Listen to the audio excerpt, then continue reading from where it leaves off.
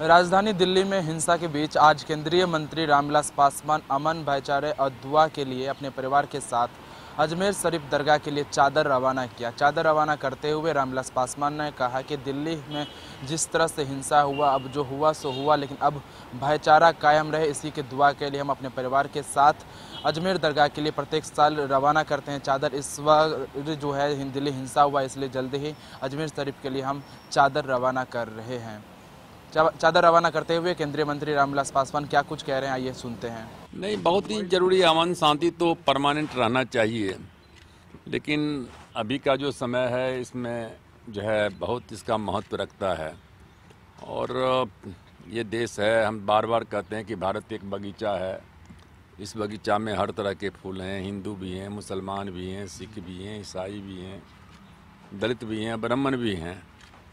और ये हमारी यही तहजीब है कि सब लोग जो है, हज़ारों साल से जो है, सैकड़ों साल से प्यार, मोहब्बत के साथ में रहते आए हैं। अभी भी जो है सो, जब हम देख रहे हैं, विभिन्न समाचार पत्रों को, चैनल को देख रहे हैं तो अभी भी जो मुसलमान भाई हैं, वो हिंदू को बचा रहे हैं।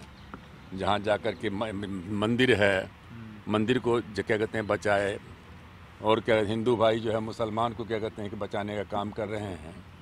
लेकिन अब कुछ एक तत्व होते हैं जो समाज को कहते हैं, भी बदनाम करते हैं, देश को भी बदनाम करते हैं और लोगों के जान को जोखिम में डालते हैं।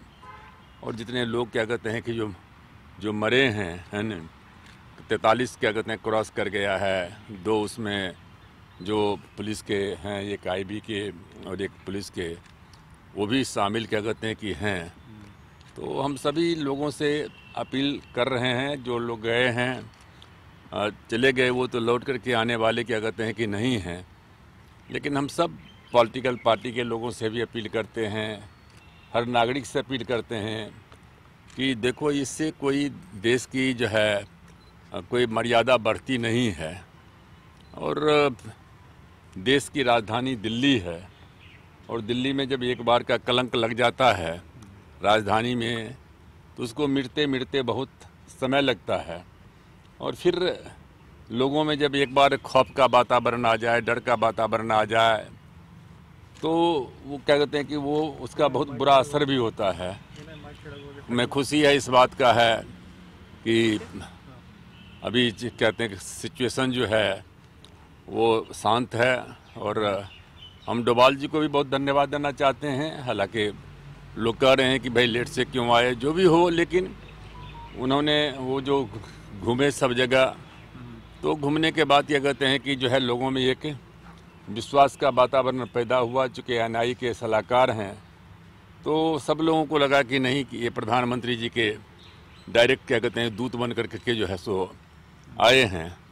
और सब लोगों ने कहा कि ठीक है, हम विश्वास भी करते हैं, हिंदू हो, मुसलमान हो तो हमको पूरा का पूरा विश्वास है। कि और कि आज जो फिर से अमन चैन जो है कायम होगा, सब लोग भाई भाई करके रहेंगे। और आज 808 जो है, जो उर्स का जो हमेशा दरगाह में हम लोग भेजते हैं अजमेर शरीफ में तो उनका उर्स का, सगम मेला चल रहा है। और हमारे साबिर भाई हैं तो हम लोग भी हमेशा जाते रहते हैं, लेकिन जब हम नहीं जाते हैं तो हमको लगता है कि पिछले 25-30 साल से जो है चादर जो है, सो वहाँ हम लोग जो है उनको जा, भेजने का काम करते हैं।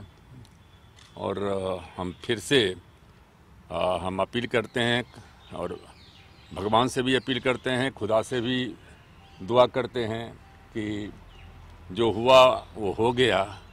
लेकिन कम से कम जो है, अब लोगों को जो क्या कहते हैं कि शांतिपूर्वक जो है रहने का, जीने का जो है, क्या कहते हैं कि वो आशीर्वाद दें। आपको लगता है कि राष्ट्रीय कलंक है? आपने वो पहले भी कहा है। नहीं ये है ही। कोई कोई भी आदमी हो कौन आदमी कह सकता है कि भाई इतने लोगों की हत्या मतलब एक तो सपोज़ कर लीजिए कि मरना दूसरे जिस तरीके से हत्या हुई है फिर सारे के सारे मोहल्ला का मोहल्ला जला दिया गया। देख रहे हैं कि कार का जला हुआ है सब जगह जला हुआ है। तो इससे ज़्यादा कलंक और क्या हो सकता है? इसलिए वो तो है ही। सर क्या लगता है कि हेट स्पीच नेताओं का ये दंगा अब हम उसमें अब देखिए जो पास्ट है उसमें हम नहीं जाएँगे कि टेस्ट में वो वो अब क्या कहते हैं कि सारा का सारा जाँच चल रही है और उनको पूरा का पूरा विश्वास है और सब लोगों को विश्वास रखना चाहिए कि जो जाँच है इन्वेस्टिगेशन है वो वो वो इन्वेस्टिगेशन जो है जाँच जो है वो निष्पक्ष होगा ये हम कह सकते हैं। और उसके बाद जाँच में जो भी शुरू से ही हम लोग कहते आए हैं कि जो ये जो होता इस तरह के जो तत्व होते हैं उनका ना कोई धर्म होता है न कोई जात होता है न कोई मज़हब होता है। और उसमें जो कोई भी दोषी पाए जाएँ चाहे हेट स्पीच करने वाले हैं या चाहे मान लेते हैं कि एक्शन करने वाले लोग हैं जो भी लोग उसमें दोषी पाए जाएँ उनके खिलाफ में क्या कहते हैं सख्त से सख्त कार्रवाई क्या कहते हैं कि होनी चाहिए। और ऐसे घटना जिस तरह की घटना होती है इसमें यदि कानून में बदलाव कर लाने की भी आवश्यकता है बहुत सा कानून में बदलाव आए हैं। इसमें भी यदि लाने की ज़रूरत है तो बदलाव ला करके फास्ट ट्रैक पर रख- करके अब जैसे वहाँ का चला मामला आपका ये पंजाब वाला मामला चला अब चौरासी का दंगा है अभी तक चल रहा है समझने गए तो उसी तो वो वो क्या कहते हैं ये डिले नहीं होना चाहिए। जो भी क्या कहते हैं वो फास्ट ट्रैक पर कर करके और इमीडिएट क्या कहते हैं कि जो है वो उसमें क्या कहते हैं कि जाँच कर करके और जो भी दोषी है उसके खिलाफ में कड़ी कार्रवाई होनी चाहिए। सर ये कांग्रेस और आम आदमी पार्टी जो अब हम उसमें हम नहीं जाते हैं पार्टी में हम नहीं जाते हैं। क्या कांग्रेस क्या कांग्रेस कहती है क्या बीजेपी कहती है क्या आम आदमी पार्टी कहती है? मैंने कहा कि आज का दिन जो है वो दिन क्या कहते हैं हमने हम दुआ करते हैं हम क्या कहते हैं प्रार्थना करते हैं भगवान से। कि सबको सद्बुद्धि आवे और क्या कहते हैं कि देश में अमन चैन कायम रहे देश और दुनिया से जुड़ी सभी प्रमुख खबरों के लिए हमारे चैनल को सब्सक्राइब करें और लेटेस्ट वीडियो पाने के लिए बेल आइकन को ज़रूर दबाएँ। साथ ही हमारे वीडियो को लाइक और शेयर करना ना भूलें